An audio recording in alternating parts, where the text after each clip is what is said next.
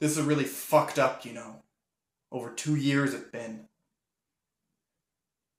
For the first time since then, I think I might be interested in another lady. And at the same time, Sandy's face keeps popping into my brain, stronger than ever. It's like the closer I get to Gail, the harder I gotta work at forgetting Sandy. You'd think it'd be easier. On the way up to Stokem, she said this time she was gonna jump. Never had the guts before. Just watching us climb the fall scared her to bits.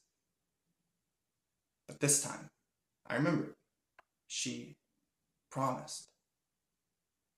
She was gonna jump.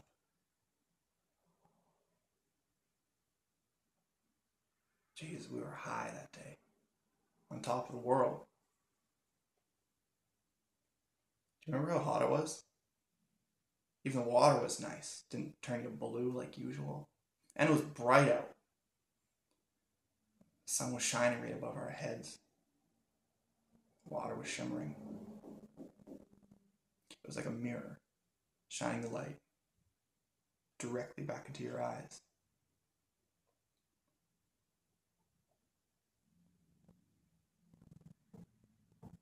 We climbed the falls. I didn't see the kids playing on the log down there. They must have pushed it in from the side. But it was so bright, like I said, you couldn't see straight down.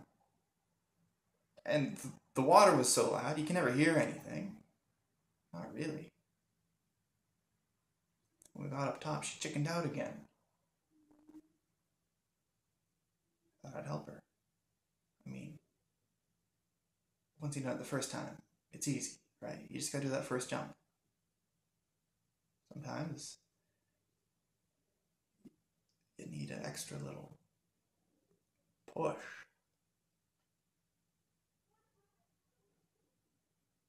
I never saw those kids or that log.